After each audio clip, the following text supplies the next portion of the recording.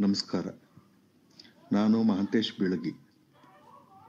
ಇತ್ತೀಚೆಗೆ ನಾನೊಂದು ಪುಸ್ತಕ ಓದಿದ್ದೆ. ಇಕಿಗಾಯ್ ಅಂತ ಇಂಗ್ಲಿಷ್ನೊಳಗ ಅದರದ್ದು subtitle ಪುಸ್ತಕದ್ದು the Japanese secret to a long and happy life ಜಪಾನ್ದವ್ರದ್ದು secret ಏನು? ಅವರು ಭಾಳ ದಿವಸ ಬದುಕ್ತಾರ ಭಾಳಷ್ಟು ಖುಷಿಯಿಂದ ಬದುಕ್ತಾರ. ಅದ್ರ ಸೀಕ್ರೆಟ್ರ ಏನಪ್ಪ ಅಂತ ಹೇಳಿ ಹೆಕ್ಟರ್ ಗ್ರೇಷಿಯಾ ಮತ್ತು ಫ್ರಾನ್ಸೆಕ್ ಮಿರಾಲಿಸನ್ ಅವರು ರಿಸರ್ಚ್ ಮಾಡಿ ಮಾಡಿ ಮಾಡಿ ಒಂದು ಪುಸ್ತಕ ಬರ್ದಾರ. ಆ ಪುಸ್ತಕದ ಹೆಸರು ಇಕಿಗಾಯ್ ಅಂತ.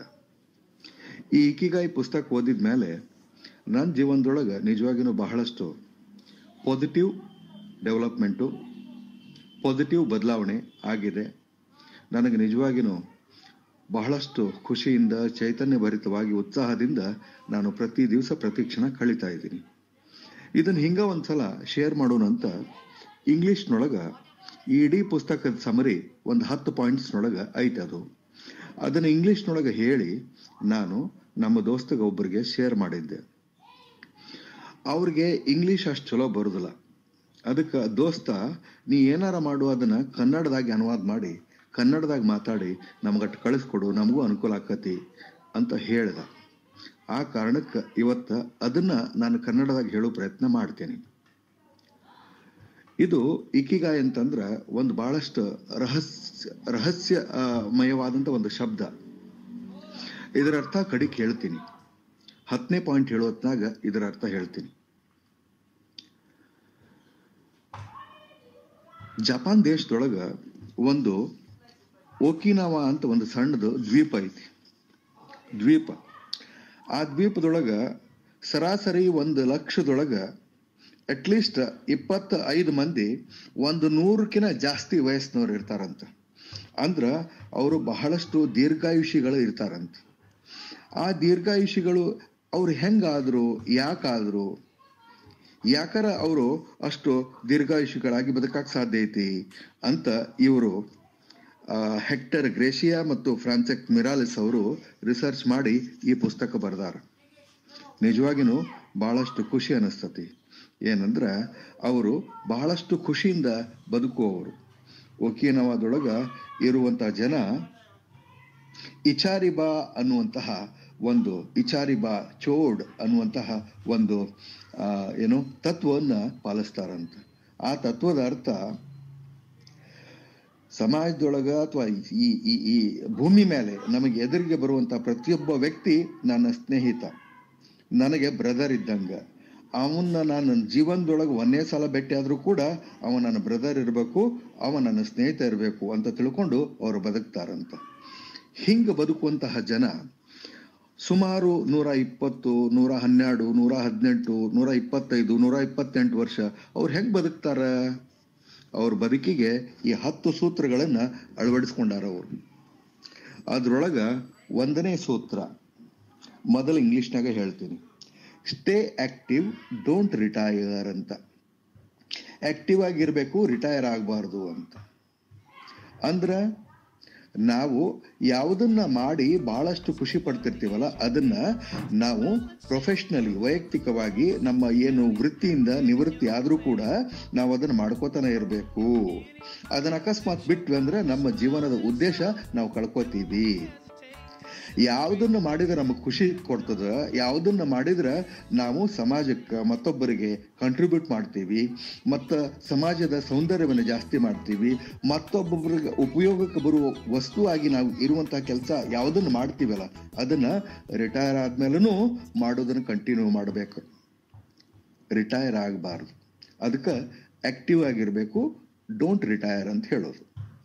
ಎರಡನೇದು ಟೇಕ್ ಇಟ್ ಸ್ಲೋ ಬಹಳಷ್ಟು ಹರಿಬರಿ ಒಳಗೆ ಇರಬಾರ್ದು. ಅವಸರ ಅವಸರ ಒಳಗೆ ಗೋಜಲು ಗೋಜಲು ಜೀವನ ಮಾಡ್ಕೊಂಡ ಇರಬಾರ್ದು. ಯಾವುದಕ್ಕೂ ಅವಸರ ಮಾಡಬಾರ್ದು. ಸಾವಕಾಶವಾಗಿ ನಡೆದವ ಭಾಳ ದೂರ ಹೋಗ್ತಾನಂತ.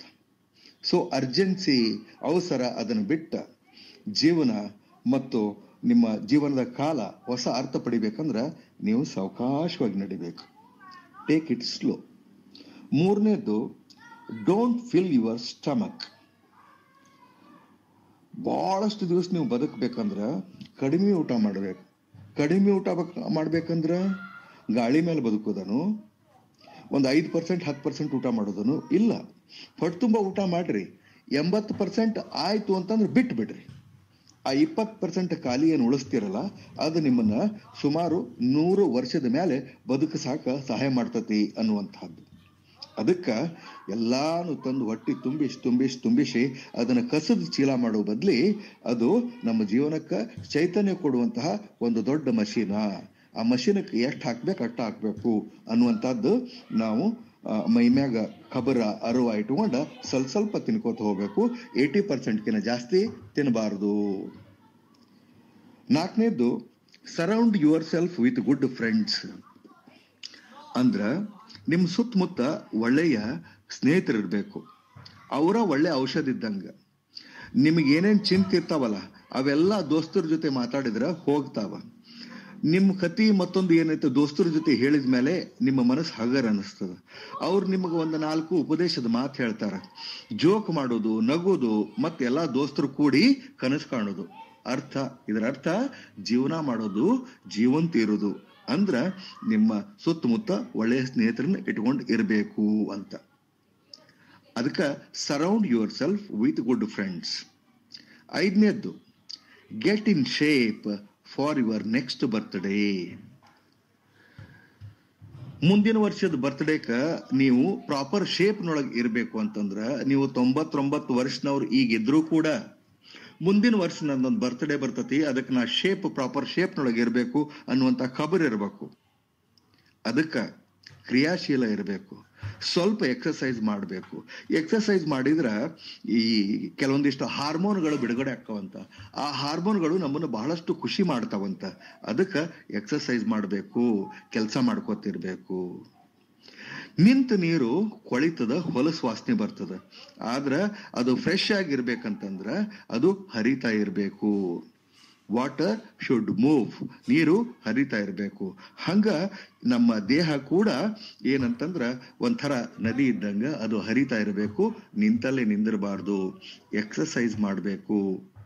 Get in shape for your next birthday ಮುಂದಿನ ವರ್ಷದ ಬರ್ತ್ಡೇಕ ಈಗಿಂದನ ತಯಾರಿ ಮಾಡು. ಅಂದ್ರ ನೀನು ಸ್ವಲ್ಪ ಕ್ರಿಯಾಶೀಲ ಆಗಿರು, ಸ್ವಲ್ಪ ಎಕ್ಸಸೈಸ್ ಮಾಡ್ಕೋತಾನೆ ಇರಬೇಕು. ಮುಂದಿನ ವರ್ಷದ ಬರ್ತ್ಡೇಕ ಕೇಕ್ ಕಟ್ ಮಾಡ್ಬೇಕಾ ಇಲ್ಲ? ದೋಸ್ತರನ್ನ ಕರಿಬೇಕಾ ಇಲ್ಲ? ಅದಕ್ಕೆ ಈಗ ಎಕ್ಸಸೈಸ್ ಮಾಡೋದ. ಆರನೇದ್ದು ಸ್ಮೈಲ್ ನಗರಿ. ನಗಬೇಕು. ನಕ್, ಯಾವ ನಕ್ಕೋತಾ ಇರ್ತಾನ ಅವನಿಗೆ ದೋಸ್ತರು ಬಾಳ್ ಮಂದಿ ಇರ್ತಾರ. ನಕ್ಕೋತ ಇರಬೇಕು. ಯಾರು ನಕ್ಕೋತಾ ಇರ್ತಾರ ಅವರು ಬಹಳಷ್ಟು ಸ್ನೇಹಿತರನ್ನು ಗಳಿಸ್ತಾರ. ನಗೋದ್ರಿಂದ ನಮ್ಮ ಜೀವನ ಬಹಳಷ್ಟು ಬಹಳಷ್ಟು ಸುಖಮಯ, ಸಂತೋಷ ಆಗ್ತದೆ. ಮತ್ತು ಎಲ್ಲ ದುಃಖಗಳನ್ನು ಮರಿಬೇಕಂತಂದ್ರೆ ನಾಲ್ಕು ಮಂದಿ ಜೋಸ್, ದೋಸ್ತರ ಜೊತೆ ಕುಂತ ಹರಟಿ ಹೊಡೆದ ಒಂದು ನಾಲ್ಕು ಜೋಕ್ ಹೇಳಿ ನಾವು ಜೋರಾಗಿ ನಾವು ಏನು ನಗ್ತೀವಲ್ಲ, ಅವಾಗ ಎಲ್ಲಾನು ಮರ್ತು ಬಿಡ್ತೀವಿ, ಮಕ್ಕಳಾಗಿ ಬದುಕ್ತೀವಿ. ಅದಕ್ಕೆ ನಾವು ನಗಬೇಕು. ಸೊ ಸ್ಮೈಲ್ ಏಳನೇದು ರೀಕನೆಕ್ಟ್ ವಿತ್ ನೇಚರ್ ನಾವು ನಿಸರ್ಗದ ಒಂದು ಭಾಗ. ನಿಸರ್ಗದ ಒಂದು ಭಾಗ ನಾವು. ಪರಿಸರ ನಿಸರ್ಗದ ಒಂದು ಭಾಗ. ಆದ್ರಿಂದ, ಬರೀ ಸಿಟಿ ಒಳಗ, ಈ ಸದ್ದು, ಗದ್ದಲ, ಗೋಜು ಸಿಟಿ ಬಸ್ಸು ಟ್ರೇನು ಫ್ಲೈಟು ಈ ಎಲ್ಲಾ ಗೋಜು, ಗದ್ದಲ ಅದನ್ನೆಲ್ಲ ಬಿಟ್ಟ ನಿಸರ್ಗದ ಮಡಲಿನೊಳಗೆ ಹೋಗಿ ಒಂದ್ ಸ್ವಲ್ಪ ಹೊತ್ತು ಕಾಲ ನಾವು ಕಳಿಬೇಕು. ಯಾಕೆ ಕಾಲ ಕಳಿಬೇಕು? ಯಾಕಂದ್ರೆ ನಾವು ನಿಸರ್ಗ, ನಿಸರ್ಗದ ಒಂದು ಭಾಗ. ಅದಕ್ಕೆ ನಾವು ನಿಸರ್ಗದ ಮಡಿಲಿನಲ್ಲಿ ಎಷ್ಟು ಸಾಧ್ಯಕತಿ ಅಷ್ಟು ಸಲ ಫ್ರೀಕ್ವೆಂಟ್ ಆಗಿ ಮ್ಯಾಲಿಂದ ಮೇಲೆ ನಾವು ಅಲ್ಲಿ ಹೋಗಿ ನಮ್ಮ ಬ್ಯಾಟ್ರಿಗಳನ್ನು ರೀಚಾರ್ಜ್ ಮಾಡ್ಕೋಬೇಕು. ಅದಕ್ಕೆ ಫ್ರೀಕ್ವೆಂಟ್ ಆಗಿ ಮ್ಯಾಲಿನ ಮೇಲೆ ನಿಸರ್ಗದ ಮಡಲಿನೊಳಗೆ ಹೋಗಿ ಟೈಮ್ ಕಳೆಯೋದನ್ನ ರೂಢಿ ಮಾಡ್ಕೋಬೇಕು. ರೀಕನೆಕ್ಟ್ ವಿತ್ ನೇಚರ್ ಅಂತ. ಎಂಟನೇದು ಗಿವ್ ಥ್ಯಾಂಕ್ಸ್ ಕೃತಜ್ಞತೆ ಹೇಳ್ಬೇಕು ನಾವು ಜೀವನದೊಳಗೆ. ಯಾರ್ಯಾರಿಗೆ ಹೇಳೋದು? ನಮ್ಮ ಪೂರ್ವಜರಿಗೆ, ನಮ್ಮ ಹಿರಿಯರಿಗೆ, ನಿಸರ್ಗಕ್ಕ, ನಿಸರ್ಗಕ್ಕೆ ಎದಕ್ಕೆ ನಾವು ಉಸಿರಾಡ್ಸೋ ಗಾಳಿ ಉಣ್ಣು ಅನ್ನ, ಮತ್ತು ಬೆ, ಈ ಆಕ್ಚುಲಿ ಬೆಳೆ ಬೆಳ್ಯಾಕ ಜಮೀನು ಅಥವಾ ನೆಲ ಎಲ್ಲವನ್ನು ಕೊಟ್ಟದ್ದು, ನಮ್ಮ ಸ್ನೇಹಿತರನ್ನು ಕೊಟ್ಟದ್ದು, ನಮ್ಮ ಕುಟುಂಬವನ್ನು ಕೊಟ್ಟದ್ದು, ಎಲ್ಲವನ್ನು ಕೊಟ್ಟದ್ದು ನಿಸರ್ಗ. ಅದಕ್ಕೆ ಅವ್ರಿಗೆಲ್ಲರಿಗೂ ಪ್ರತಿ ದಿವಸ ಎಷ್ಟು ಸಾಧ್ಯಕತೆ, ಅಷ್ಟು ಸಲ ಫ್ರೀಕ್ವೆಂಟ್ ಆಗಿ ಅವ್ರಿಗೆ ಏನು ಮಾಡಬೇಕು? ನಾವು ಕೃತಜ್ಞತೆ ಹೇಳಬೇಕು. ಮತ್ತು ನಾನು ಜೀವಂತ ಇರೋದಕ್ಕೆ ಅದೃಷ್ಟವಂತ. ಅದಕ್ಕೆಲ್ಲ ಕಾರಣ ನೀವ. ಆದ್ರಿಂದ ಪ್ರತಿ ದಿವಸ ಸ್ವಲ್ಪ ಎಲ್ಲರ ಟೈಪ್ ಮಾಡ್ಕೊಂಡು ಎಲ್ಲರಿಗೂ ಥ್ಯಾಂಕ್ಸ್ ಹೇಳ್ಕೋತ ಹೋದ್ರಿ ಅಂದ್ರ ನಿಮ್ಮ ಬ್ಯಾಂಕ್ ಬ್ಯಾಲೆನ್ಸ್ ನೊಳಗ ಹ್ಯಾಪಿನೆಸ್ಸು ಬೆಳ್ಕೋತ ಹೋಗತಿ ಸುಖ, ಸಂತೋಷ, ನೆಮ್ಮದಿ ಜಾಸ್ತಿ ಆಕೋತ ಹೋಗತಿ ಅದಕ್ಕೆ ಗಿವ್ ಥ್ಯಾಂಕ್ಸ್ ಅಂತ. ಒಂಬತ್ತನೇದ್ದು ಲಿವ್ ಇನ್ ದ ಮೊಮೆಂಟ್ ಅಂತ. ಈ ಕ್ಷಣದಲ್ಲಿ ಬದುಕಬೇಕು. ಭೂತಕಾಲದ ಬಗ್ಗೆ, ಗತೀಶ್ ಹೋಗಿದ್ದರ ಬಗ್ಗೆ ಬಹಳಷ್ಟು ವಿಷಾದ ವ್ಯಕ್ತಪಡಿಸೋದು, ಅಯ್ಯೋ, ನಾ ಹಂಗಿರ್ಬೇಕಾಗಿತ್ತು ಅಯ್ಯೋ, ನಾ ಅದು ಮಾಡಬೇಕಾಗಿತ್ತು, ಇದು ಮಾಡಬೇಕಾಗಿತ್ತು. ಭೂತಕಾಲದ ಬಗ್ಗೆ ವಿಷಾದ. ಮತ್ತು ಭವಿಷ್ಯದ ಬಗ್ಗೆ ಭಯಂಕರ ಹೆದರಿಕೆ ಮತ್ತು ಚಿಂತೆ. ಮುಂದೆ ಹೆಂಗೋ ಏನೋ, ಮುಂದೆ ಹೆಂಗೋ ಏನೋ. ಸೊ ಭೂತಕಾಲದ್ದನ್ನು ಬಿಡ್ರಿ, ವಿಷಾದ ಬಿಡ್ರಿ, ಭವಿಷ್ಯದ ಬಗ್ಗೆ ಚಿಂತಿ ಅಥವಾ ಹೆದರಿಕೆ ಇಟ್ಕೋಬೇಡ್ರಿ. ಈ ಕ್ಷಣ ಏನಂತಂದ್ರ ಇವತ್ತು, ಇಂದಿನ ದಿಂದಿಗೆ ನಾಳಿನ ನಾಳೆಗೆ. ತಿಳಿತಲ್ಲ, ಆ ದೃಷ್ಟಿಯಿಂದ ನಾವು ಇವತ್ತಿನ ಬಗ್ಗೆ ವಿಚಾರ ಮಾಡಬೇಕು. ಇವತ್ತ ನಾನು ಸಂಪೂರ್ಣವಾಗಿ ಈ ದಿನಾಂಕ, ಈ ಕ್ಷಣನ ನೆನಪಿಡುವಂಗೆ ನಾನು ಬದುಕಬೇಕು ಅಂತಂದ್ರ ಇವತ್ತು ನಾನು ಬದುಕಬೇಕು. ಹಿಂದಿಂದಕ್ಕಲ್ಲ ಮುಂದಕ್ಕೂ ಅಲ್ಲ, ಮುಂದಿಂದಕ್ಕೂ ಅಲ್ಲ. ಇವತ್ತಿಗೆ, ಇವತ್ತಿನ ಸಲುವಾಗಿ ಬದುಕಬೇಕು. So live in the moment ಅಂತ. ಹತ್ತನೇದ್ದು ಬಹಳ ಇಂಪಾರ್ಟೆಂಟ್ ಇದ ಫಾಲೋ ಯುವರ್ ಇಕಿಗಾಯ್ ನಿಮ್ಮ ಇಕಿಗಾಯಿನ ನೀವು ಫಾಲೋ ಮಾಡಬೇಕು. ಇಕಿಗಾಯ್ ಅಂದ್ರೆ ಏನು? ನಿಮ್ಮೊಳಗೆ ಒಂದು ಪ್ಯಾಷನ್ ಐತಿ, ಒಂದು ಅರ್ಜ್ ಐತಿ, ಒಂದು ಡಿಸೈರ್ ಐತಿ, ಒಂದು ಅತ್ಯಂತ ಉತ್ಕಟವಾದ ಒಂದು ಬಯಕೆ ಐತಿ. ಆ ಬಯಕೆ ನಿಮ್ಮನ್ನ ಒಂದು ಪ್ರಾಪರ್ ಒಂದು ಒಂದು ಶೇಪ್ನೊಳಗೆ ತಂದದ. ನೀವು ಇವತ್ತು ಹೀಗಿರಾಕ ಕಾರಣ ಅಂತಂದ್ರೆ ಆ ಒಂದು ಅರ್ಜ್ ಅಥವಾ ಬಯಕೆ. ಅದು ನಿಮ್ಮಲ್ಲಿ ಅದ್ವಿತೀಯ ವಿಶಿಷ್ಟ ಒಂದು ಪ್ರತಿಭೆಯನ್ನ ಟ್ಯಾಲೆಂಟ್ ಅನ್ನ ನಿಮಗ ಕೊಟ್ಟದ. ಆ ಟ್ಯಾಲೆಂಟಿನಿಂದ ನಿಮ್ಮ ಜೀವನಕ್ಕೆ ಒಂದು ಅರ್ಥ ಬಂದದ. ನೀವು ಬದುಕುವ ಪ್ರತಿ ಕ್ಷಣಕ್ಕೂ ಅರ್ಥ ಬರ್ತದ.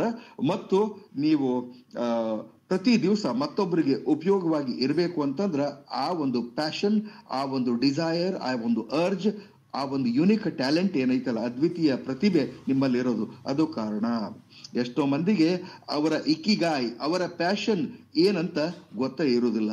ಅಂಥವ್ರು ಏನ್ ಮಾಡ್ಬೇಕು ಹಂಗಂದ್ರ, ಅವರು ತಮ್ಮ ಇಕ್ಕಿಗಾಯ್ ಅನ್ನೋದು ಏನು ಅಂತ ಡಿಸ್ಕವರ್ ಮಾಡೋದ್ರೊಳಗ ಅವ್ರ ಜೀವನನ ಕಳಿಬೇಕು.